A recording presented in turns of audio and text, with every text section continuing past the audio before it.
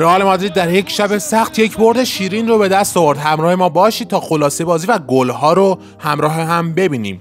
رئال مادرید سه هیچ تونه سلتیک رو ببره. سلتیکی که نیمه اول بهتر از رئال بود و دقیقه یک بازی همراه این موقعیت می‌تونست دروازه رئال باز شه که رئال خوش شانس بود. این اتفاق نیفتاد اما بد شانس بود که کریم بنزما مصوم شد و از بازی خارج شد و به جای اون ادن هازاردی به بازی اومد که دقیقه چهل یه تک به تک و این موقعیت خیلی خوب رو این چنین از دست داد تا آه و افسوسش بمونه برای رئالی ها و همچنین وینیسیوس هم دقیقه 42 تک به تک خوب رو هم اون از دست داد و نیمه اول رئال در حالی که می‌تونست دو هیچ به رختکن بره با هنرنمایی وینیسیوس و هازارد همون صفر صفر به اتمام رسید.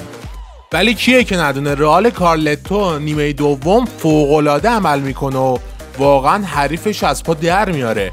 وینیسیوس دقیقه 56 روی پاس خیلی خوب و قشنگ فده والورده. روی موقعیت تک به تک تونست گل رئال مادرید رو به ثمر برسونه. و دقیقه 60 لوکیتای محبوب رئالی ها روی بیرون پای خوشگل و دیدنی ضربه عالی که لوکا مودریچ زد و دروازه سلتیک برای دومین بار باز شد و لوکا مودریچ دقیقه 60 این کارو کرد.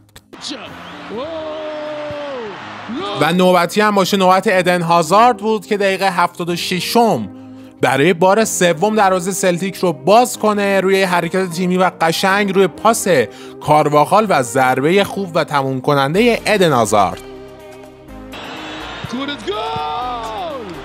و رئال مادرید تونست در جو وحشتناک ورزشگاه سلتیک سه امتیاز شیرین رو به طرفدارای خودش هدیه بده تبریک به همه رئالی ها بابت این برد شیرین و قهرمان فصل گذشته لیگ قهرمان اروپا تونست مقتدرانه این رقابت ها رو آغاز کنه و برد شیرینی رو کسب کرد. تبریک به همه رئالی ها و اگر این ویدیو رو دوست داشتید شما حتما این ویدیو رو لایک کنید و اگر به موضوعات فوتبالی اخبار حواشی و خلاصه بازی ها مخصوصا از فوتبال ایران جهان علاقه دارید حتما channel ما رو subscribe کنید.